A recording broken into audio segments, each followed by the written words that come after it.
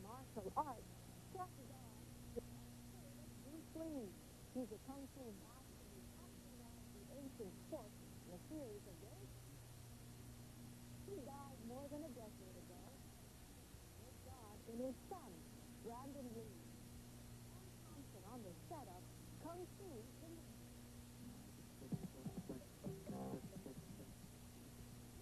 years after his death, Bruce Lee books, posters, and movies featuring still dominate the martial arts scene. But his fans will be at a new martial arts movie. Its star,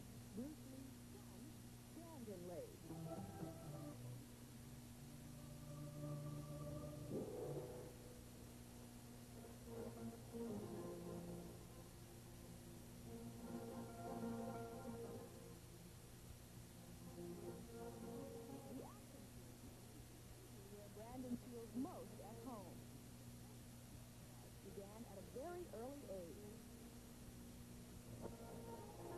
used to go on. You know, I remember before that training he would he held the board and he would like like help me break it because I was a little kid. When I kick it, and I remember him very seriously. Before he would become a very large man. He said, "You better break that." I did. I broke that sucker. It flew uh, we would stand side by side and his hand. You know, I'm like, what, seven? Explaining how the martial arts you were, how strong you were, blah, blah. Would say that, I'd take and flip him onto the ground. When Bruce Lee died in 1970, years old, now at his martial arts film, Kung Fu the about the inevitable comparison.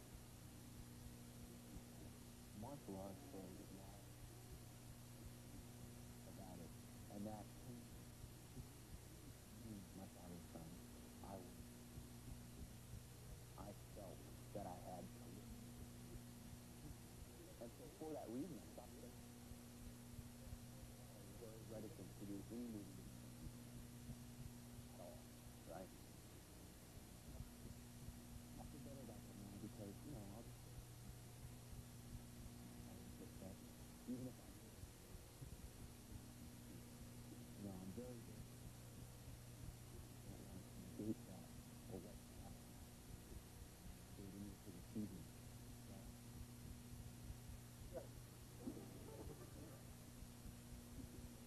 Bruce and movie gave Brandon. Although he broke the record and started